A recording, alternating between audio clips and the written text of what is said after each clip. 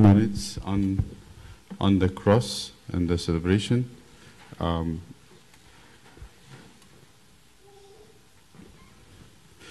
there is uh, the cross and Saint, and Saint Constantine the King. There is great connection between the two. It started from when Constantine father died and Constantine became the king. His father, and whom I don't remember his name, was a pagan person, was not a Christian. But Helena was a Christian. And she raised Constantine in familiarity. He's very close to the cross and very close to the Lord and to the apostles and the saints, especially the martyrs. Constantine grew up knowing those things from Helena, from the mother. Um, but the cross then was not really the sign that we have today. The cross in the time of Constantine was something they called the Chi-Rho. What's the Chi-Rho? The Latin letters X, that's key, and the rho, the R, but it's like a, the R is like a P. So if you see it, it's a P like this, and then an X like this. The Christian used to make this sign. That's the, the first cross they knew. What does it stand for? Um, the key, um, it stands for Christos, uh, Rixo Regonarium, which means king, Christ the king. So you have the Chi Rho, both the beginning of the name, Christ the king, and also the sign of the cross. And we know the story started by uh, Constantine calling, I don't know the exact, I don't remember the details of it, to unify the Roman Empire. In the east, there was two kings, two emperors. That was Diocletian and Maximianus. They were in the east. In the west was Constantine and inherited from his father. So he uh, wanted to unify the kingdom, so he took his army and went to fight Maximianus. That's the person, that's the king who took on the fight against, against uh, uh, Constantine. And uh, Diocletian at the time was, his, his main place was Syria, Antioch. This is where Diocletian reigned, and under him came Palestine, Syria, Lebanon, Egypt, and Africa. That was Diocletian. Diocletian's come from Antakya, Syria. وماكسيميانوس كان في إيه؟ في حتة بتاعة تركيا. وكان قسطنطين على الغرب وكان عايز يوحد المملكة. ما نعرفش أنا مش فاكر التفاصيل بتاعة ال- ال- الحكاية دي إلا إن هو طلع يحارب ماكسيميانوس. دقلديانوس ما كانش في الصورة لأنه كان عايش. كان هو اللي, اللي, سببه أو ال- الجنود بتوعه بيحاربوا المسيحيين. فهو طلع في السكة ال- Uh, our tradition says, the story says, he saw a vision. He saw a vision in the daytime where a sign of the cross appeared in, in heaven. And the sign was the Chi-Rho. اللي هي علامة X والرو اللاتيني اللي هي زي البي اكس كانت البداية بتاعت اسم خريستوس يعني كريستوس اللي هو المسيح والري والرو اللي هي بداية ريكسم which mean- ال- الكل- الكلمة اللي بتقول يعني ملك ملك الملوك. فكانت ال- البداية بتاعت المسيح الملك وهي أيضا علامة الصليب. فشافها في الظهر واتقال له أو حد قال له إن دي اللي هتغلب بيها. وده أول علاقة ما بين قسطنطين وإيه؟ والصليب. الحكاية الحكاية مش مرة واحدة هي بس أنا لازم نركبهم مع بعض ونشوف القصة ماشية إزاي. Then Constantine took this sign and put it on all the flags of the army على ال shields على ال على ال flags everything and as they went into the fight and actually Maximianus was in Rome at the time Maximianus was in Rome so one in Rome one in Antioch so Maximianus took his army to fight him and Constantine army having this sign on the shields they said some of the historians says there was a lot of Christians in the army of Maximianus. When they saw the sign of the Chi-Rho on the shields of Constantine, they left the army of Maximianus and joined the army of Constantine. So Maximianus didn't chance, stand a chance. And they said they, they killed him and drowned him in the Tiber River, in the river of Italy. And Constantine took over the kingdom. And uh, he never forgot his mother, of course, Helena, and nor the sign of the cross by which he became the emperor of the unified Roman Empire. Later on, there were many stories about how the, the cross was discovered. Constantine was not a Christian in the beginning. You know, they say this, and it's really, every, every tradition said it. Constantine was not even Christian when the Council of uh, Nicaea was, or was, or was uh, met. حتى في أيام مجمع نقيا قسطنطين اللي أمر بأن هو يجتمع ما كانش لسه اتعمد. طب ما اتعمد إمتى؟ لو تعرفوا اتعمد إمتى قسطنطين كان كان إنسان مسيحي؟ قبل ما يموت. He told he told the bishops, the bishop of Rome and the bishop of Constantinople, that he has a lot of dirty work to do and he doesn't want to. So this is something at the time was very important. This is give you a little bit of an idea how those christians believed. He said once i'm baptized i'm not going to be able to do anything wrong. But i have a, a lot of bloodshed. I have a lot of killing a lot of things to do. I need to fix things. So i cannot be baptized and go do these things.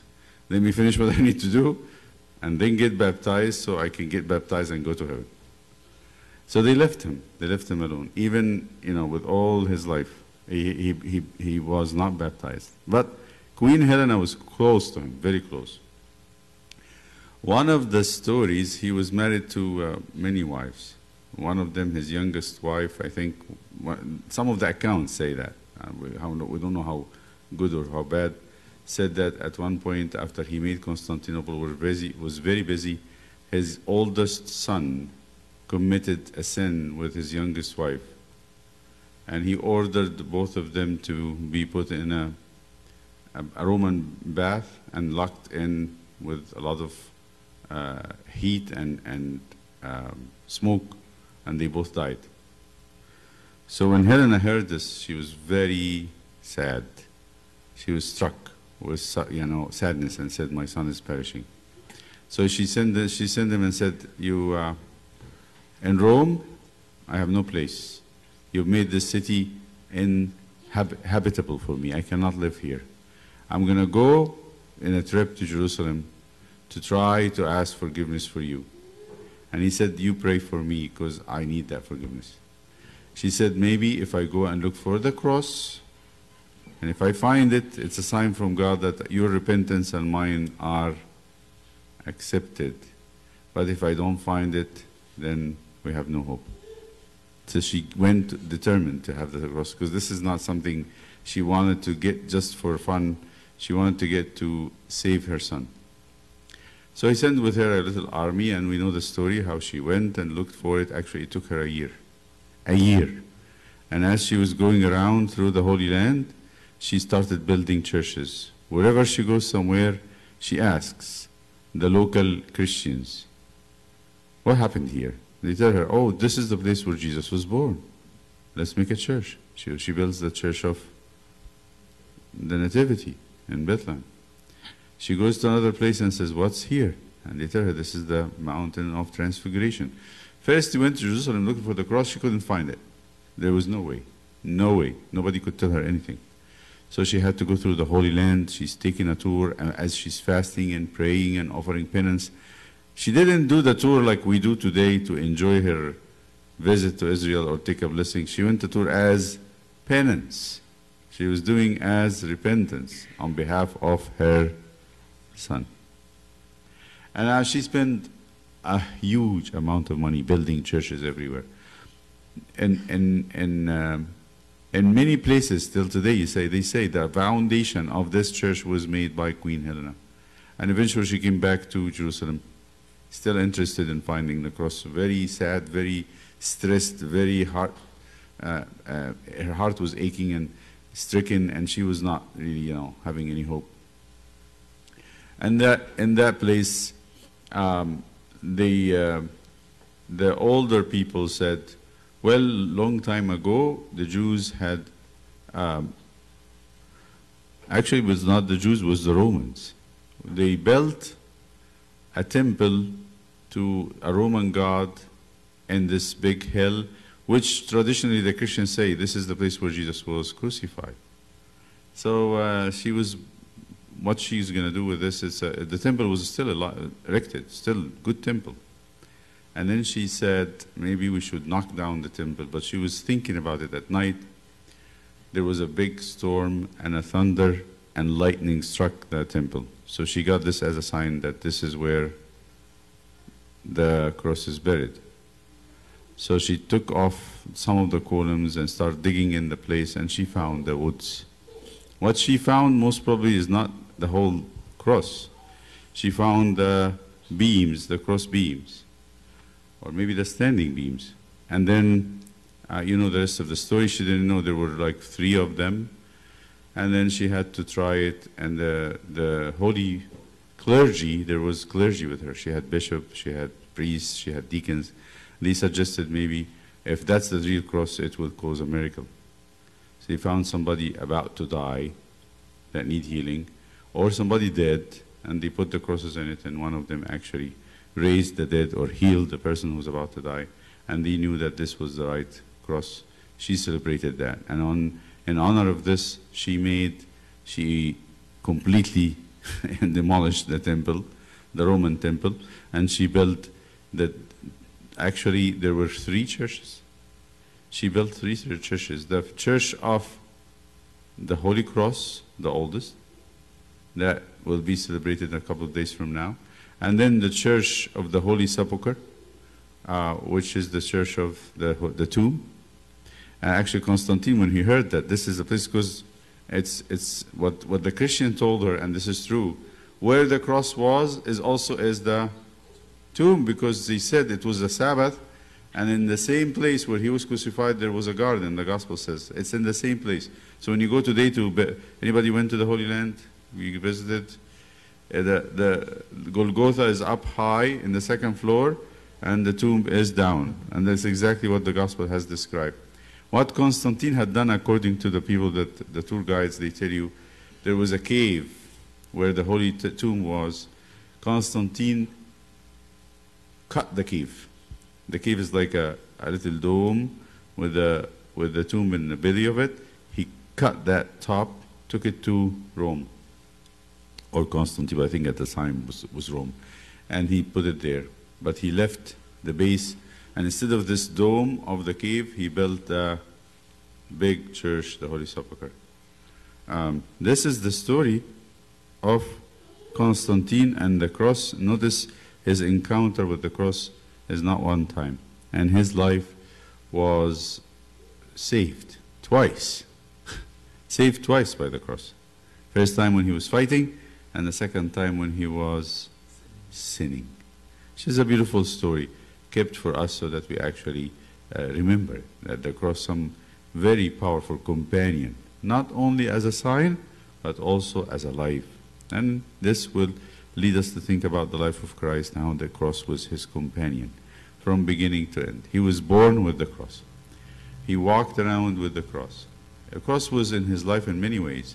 He was not believed, he was misunderstood, and even sometimes he was judged, thought of as a crazy person, demon possessed, um, uh, somebody who is going to turn on the people against the leaders, somebody who's going to cause a lot of disturbance, and someone who's going to knock down the temple, someone who's going to destroy the law of Moses. These are the crosses, some of the crosses that Jesus carried all his life. One of the crosses he took on that he was born out of wedlock. The people said that. That St. Mary was not married when, he, when she was pregnant. He carried on this with him. There's a lot of things that Jesus carried from, from day to day. Um, he carried also the cross of blasphemy, um, physical pain, abuse, um, dumping, and the people dumped on him their anger, one of the best things that I can think about. When the Roman soldiers were told he is the king of the Jews, That's where they had his sign. Jesus of Nazareth, the King of the Jews. They abused him especially for this. Why were they abusing Jesus for, the, for being the King of the Jews? Because the Roman soldiers in Judea were hated. The zealots would go out and kill them.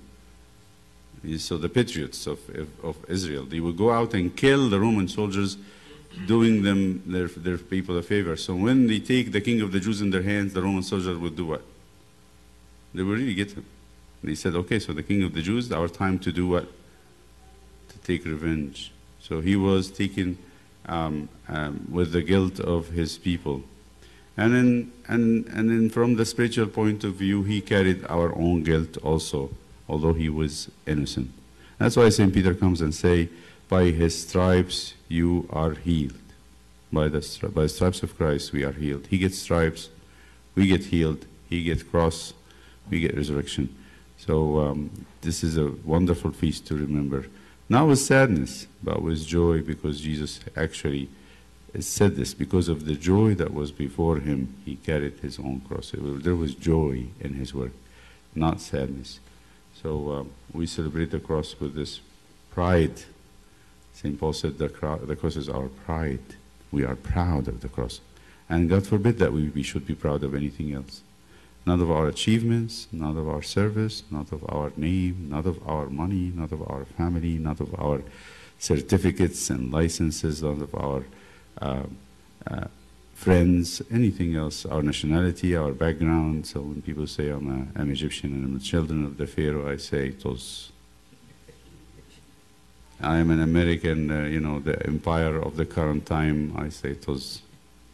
And they say somebody like, like that. If you're not Dutch, you're not much. I say it was. So, what is not those? The cross. That's it. That's the only thing that's not those in my mind. So anything else? So I think also names, names, and this is something that we th- we should think about There's no names. The, God doesn't really see names that is anything significant. يقول لك أنا اتخرجت من يو ان سي أنا اتخرجت من هارفارد. What should we say? Those names make no sense before God. Actually, this is something that you think about. Whoever is glorified before people, whatever is high before people and very glorious, and people think about it as big, is what is an abomination before God, something disgusting. But what is not disgusting? The cross of Christ. That's his. That's the glory of God. The cross of Christ is glory of God the Father. The resurrection of Christ is the glory of the Son. And our life as saints and martyrs is the glory of the Holy Spirit. So that's how we live, and this is how we're going to die, and this is how we're going to go to heaven. We ask Him to bless us with His cross. To, his, to Him is the might and the glory and power forever. Take two minutes to talk about the feast today. It's an important feast, and we uh, we are uh, excited to celebrate it. We're very blessed by the feast of the Holy Cross, and we are blessed by a very tiny piece from the wood of the cross here in this reliquary. And uh, we, will, at the end of the liturgy, after you take your uh, blessed bread, you can take a blessing from it. Um, what is what is what's happened that we celebrate the cross? I want to just share the story with you. We just heard a little bit of it from the Synaxarium. There used to be a king, and his name was Constantine. Constantine was actually not Christian. He was not a Christian. He didn't know Jesus. But in those times, not everybody in the family believed. Was Christians were just the Christ just ascended. People didn't know much about him. So Constantine mother, her name was Helena. And Helena was a very good Christian. She loved Jesus. She was praying. And she loved to fast and read the Bible. She knows Christ very well. But the father was not a Christian. But they have a child, and his name was Constantine, and he loved his father. He wanted to be a king after his father died, and he was. He became a king. He loved his mother too, but he was not a Christian. And the mother was praying for him day and night. Lord, she says, open the heart of my son Constantine to know you, to love you, and to be baptized and be a Christian. But Constantine grew up to learn fencing, fighting with the sword, riding a horse, learning about how to write and read, going to school like you, and then later also learned how to rule the kingdom. He had to go to war, he had to fight. He became a king, and he wanted to bring everyone on earth to be in the empire of his father. But there was another king on the other side who didn't want it. He didn't want to have everybody under one empire. His name was Maximianus. So Constantine took off with his army from the west to go to Rome to fight Maximianus, who was the king, and his army. And Constantine was not sure how he's going to fight this fight. The Maximianus has a very big army. He didn't know what to do. And in the middle of the day, like now, maybe a little later, sun was in the middle of the sky. Constantine saw a cross in the sky and was very bright, was brighter than the sun. And he heard a voice says, Take this sign. This is what the voice told him. Take this sign and you will win the war. Constantine believed that. He said, This is very miraculous. This sign in the sky and the voice are actually from God. Maybe my mother religion is true, but now I'm going to make that sign of the cross on everything I have. So he had his soldiers go back to the smith and they start carving crosses on their swords, on their spears. They put it, actually painted it on the shields, and they have a flag of the cross with them everywhere they went. When he went closer to Rome where he's going to fight, and the other army came to him, the other army saw that sign, and somehow they got very scared. And somehow some of the people from the other from the enemy's army left the other king and joined the army of Constantine. And that day Constantine won a very big war and he took over Rome and went and became the king over the two sides of the Roman Empire. And he became the only king for the Roman Empire. Later on, Constantine, remember, I owe the cross, big thing. The cross made me a king over all the empire. I will honor the cross. And because of this, Constantine actually became a Christian later in his life. And not only that, listen to me, this is important. At that time, before Constantine became a king, anyone who is a Christian had to hide because Christians were persecuted, they were tortured. Nobody wanted any Christian around, so they were actually going killing them. So, what do you think the, the, the sign of the cross did to the Christians? So, he was converted, and now he allowed Christians to be in churches and to worship and to have their, their life as a Christians and to be called Christians, and nobody would touch them. He actually ordered all the churches to be open and nobody to hide. What do you think the sign of the cross did to us? Made us free. We, before that, we were afraid. Freed us from fear. If Constantine didn't see that sign of the cross, today you and I cannot be meeting in this church. We're going to be hiding somewhere. So that sign of the cross saved the Christians, not just Constantine and his war. Just you, God used Constantine as a king to make the Christians not afraid.